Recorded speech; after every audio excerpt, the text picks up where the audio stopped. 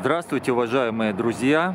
Сейчас самый конец февраля. В Риге такие солнечные, слегка морозные денечки. И несмотря на то, что где-то сейчас мрачные дни, я буду говорить исключительно о светлом, о красоте. Немножко покажу вам архитектуры, ну, чуть-чуть пообщаемся. Посмотрите, какое шикарное здание в стиле неоренессанса. Оно в прошлом году было очень хорошо отремонтировано и как оно сияет на солнышке.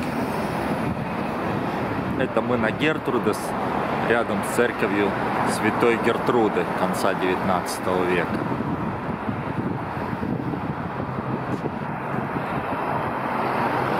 Кстати, любопытный факт. Это здание в оригинале имело башенку, потому что очень многие рижские здания, вот как это, тоже очень симпатичное, модерн, с элементами, опять же, неоренессанса.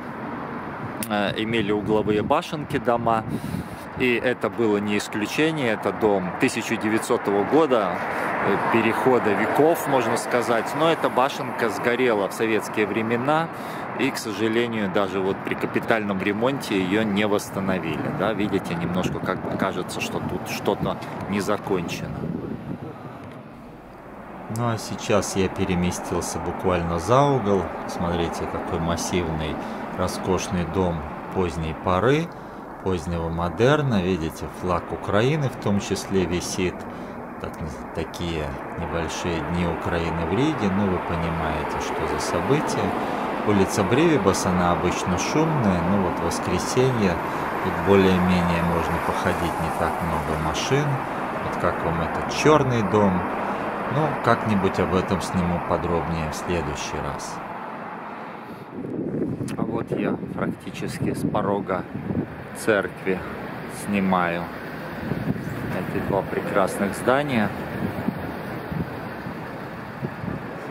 Как жаль, что некоторые неприятные действия, события, которые сейчас происходят в мире, опять притормозят туризм, туристическую деятельность и люди не смогут спокойно гулять, наслаждаться жизнью, красотой красотой реки вот в том числе.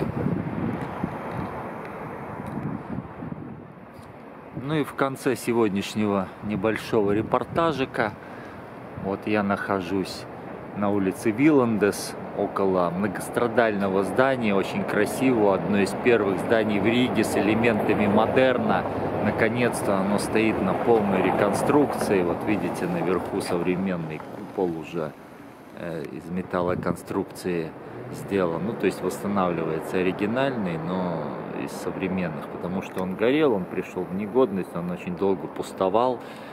Э, но внешне вот стены эти остались, все их реставрируют, там много интересных деталей. Думаю, что за год какой тут все сделают. И вот это улица Виландес, дом вроде бы на Виландес 11 имеет адрес она одна из таких маленьких красивейших улиц будет, потому что там все дома впереди очень тоже красивые, отремонтированные.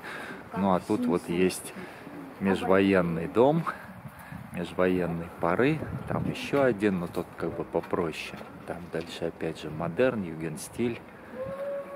Вот. И эта улица Виландес, она конечном итоге будет не хуже улицы Альберта, знаменитой Рижской. Спасибо за внимание. Всего вам доброго. Ну... Мирного неба над головами. Скорее бы все потрясения закончились. Открылись границы, и мы могли спокойно гулять, наслаждаться жизнью, прогулками, архитектурой и так далее. Жду в Риге с наилучшими пожеланиями. Ваш гид Андрей.